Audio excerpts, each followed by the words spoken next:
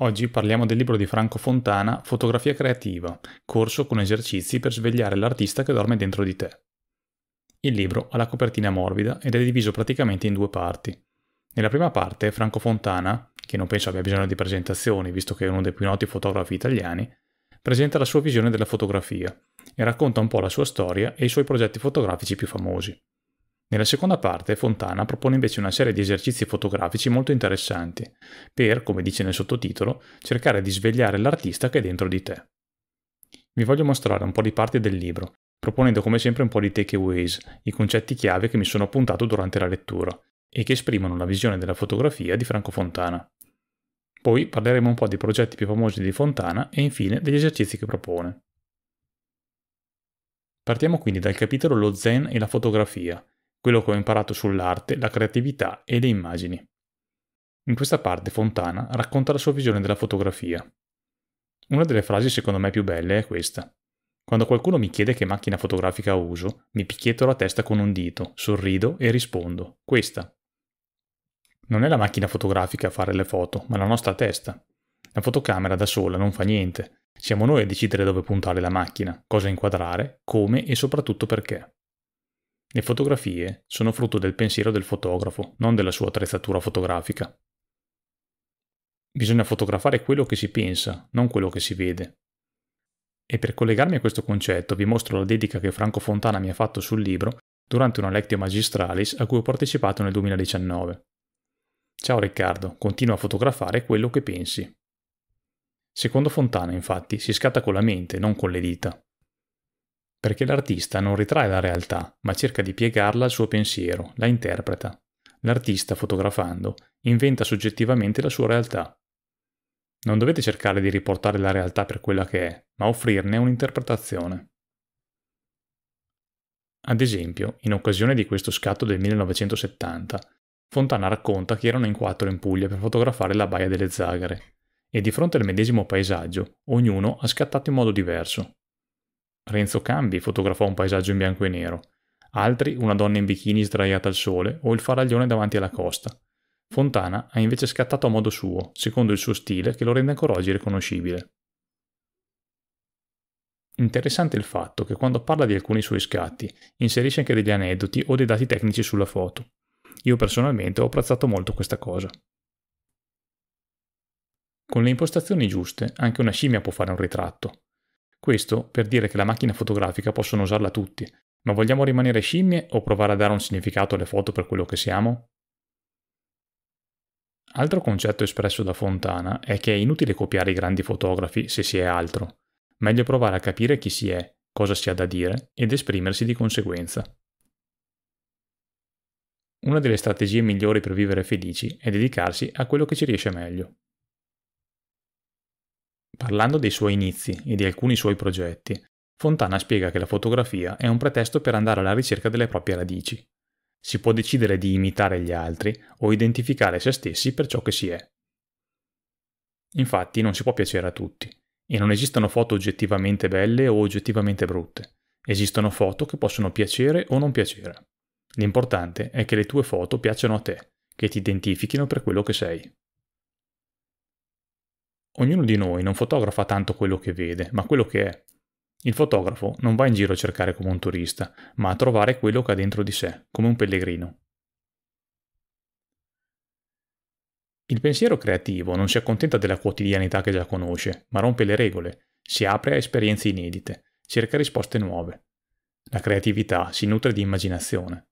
Con la creatività il fotografo può rendere visibile l'invisibile. La creatività è come un muscolo, va allenata. Fontana parla poi della ricerca del vuoto. Per creare qualcosa di nuovo bisogna fare il vuoto intorno a sé. Solo rimuovendo quello che c'è già dentro di noi possiamo fare spazio alla crescita, senza rimanere ancorati al passato e a quello che sappiamo già fare. Secondo Fontana esiste un momento in fotografia in cui l'artista intuisce dove vuole andare a parare, lui la chiama l'intuizione creativa. Per spiegarla racconta la storia di questi scatti del 1985 fatti per un servizio sulla Ferrari Testarossa. Aveva a disposizione un intero giorno a Riccione con un collaudatore per fare gli scatti. La marea era bassa, C'era un cantiere aperto ed ebbe l'idea di portare la Ferrari sul lungomare. Qui inizialmente si focalizzò sul fotografare la macchina con il riflesso nell'acqua, ma poi passarono per caso dei ragazzi con un cane dalmata, bianco e nero come le rocce frangiflutti sullo sfondo. Il cane iniziò a girare attorno alla macchina e da qui nacque l'idea di questi scatti, che furono molto apprezzati dal commendator Ferrari. Il concetto è che l'arrivo del cane è stato un caso, ma Fontana, una volta capito che poteva essere interessante, è riuscito a trasformare il caso in un fatto. Altro concetto interessante è quello del cancellare per eleggere. È importante cancellare il superfluo per eleggere solo ciò che si desidera. Fontana, quando non riusciva a farlo direttamente in fase di inquadratura, lo faceva dopo aver stampato le foto, ritagliando e poi ristampando, in modo da cancellare il superfluo ed eleggere solo quello che gli interessava. È il caso ad esempio di questi scatti sulla sinistra, in cui l'immagine finale è un ritaglio di ciò che interessava a Fontana. O anche di questa foto scattata con il teleobiettivo New York nel 1981, in cui Fontana ha ritagliato solo la parte che gli interessava. Il concetto del cancellare per eleggere è alla base di tutto il lavoro di Fontana. Le sue foto di paesaggio sono l'emblema di questo concetto. Dice infatti, solo cancellando, tagliando, eliminando, sintetizzando, andando alla ricerca dell'essenza delle cose, sono riuscito a intercettare quell'invisibile che mi ha permesso di dare significato alle forme che ho fissato nelle mie fotografie.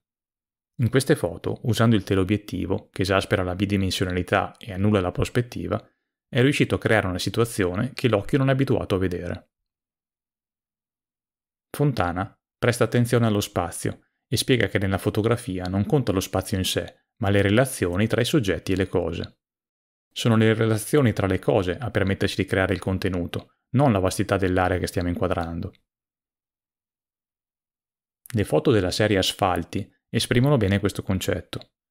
A conferire senso alle immagini sono i rapporti tra i vari segni grafici. Quindi nell'inquadratura non conta quali cose compaiono, ma i rapporti tra di esse. Altra questione interessante è quella sul verso, sulla scelta tra formato orizzontale o verticale. L'inquadratura orizzontale è più ampia, rilassata, distesa, radiosa. L'occhio può spaziare ed esplorare l'orizzonte. Invece l'inquadratura verticale limita, schiaccia, costringendo chi guarda in uno spazio più ridotto. Altro concetto è quello che non bisogna cercare di riportare la realtà per quella che è, ma offrirne un'interpretazione. Nel suo caso, i colori sono diventati il soggetto dell'immagine. Fontana, in tema di colori, ha giocato molto sui contrasti. Per caricare di significato i colori bisogna lavorare sui contrasti, diceva. Il contrasto può creare armonia.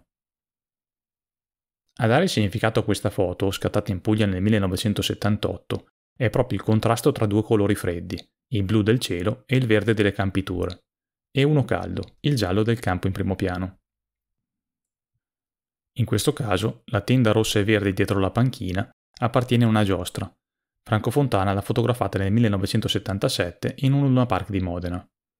Lo scatto funziona perché è una foto di pensiero, nella quale non c'è distanza tra linguaggio e contenuto. Il contrasto tra il colore rosso e il verde, due colori complementari, contribuisce a riempire l'immagine di significato. Anche in queste due foto, Fontana è riuscito a rendere i colori il soggetto delle sue immagini. Dopo aver analizzato la visione di Fontana, passiamo quindi alla parte degli esercizi, contenuti nel capitolo Tornare principianti, 11 esercizi per svegliare gli artisti che dormono dentro di voi. Franco Fontana tiene corsi di fotografia da oltre 40 anni e ha capito che il modo migliore per migliorare la creatività dei propri allievi è quello di spingerli a riflettere sul loro sguardo. Gli 11 esercizi proposti in questa sezione sono gli stessi che propone agli allievi dei suoi corsi. Sono esercizi molto utili per sperimentare cose diverse, trovare nuove idee e soprattutto per aiutare a trovare la propria identità fotografica. Nel libro non si parla infatti mai di tecnica, ma piuttosto di come provare a fare un salto di qualità, educando il proprio sguardo e trovando un proprio stile fotografico. Sono esercizi che aiutano a ragionare di più e porsi sempre delle domande prima di scattare. Aiutano a guardarsi dentro, a capire il perché si scatta e che messaggio vogliamo comunicare con le nostre foto. Secondo me è quindi molto importante non solo leggere il libro, ma fare gli esercizi. Per fare un esempio vi mostro il primo esercizio, quello del rosso. e vi rimando poi all'acquisto del libro per conoscere gli altri 10. In questo esercizio bisogna scattare una foto in cui il colore rosso diventi il soggetto principale dell'immagine.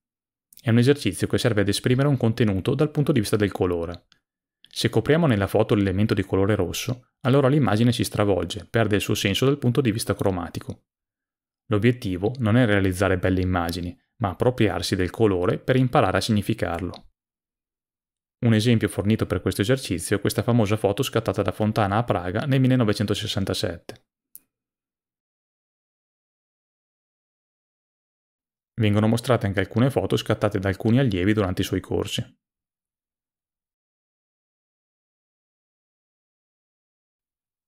In conclusione, secondo me è un libro molto interessante.